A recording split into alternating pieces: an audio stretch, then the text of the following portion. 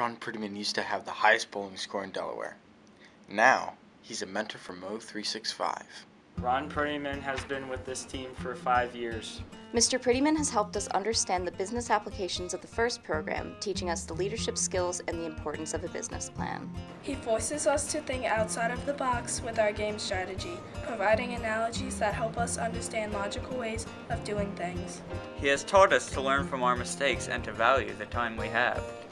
Mr. Prettyman is very enthusiastic about spreading and building first. He often gives presentations on judging help and social media, as well as meeting teams in person or on the phone.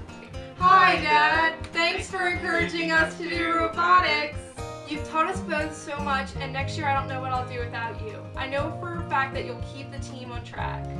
Though he sometimes still messes up the MOE cheer, we would be nothing without Ron Prettyman's dedication.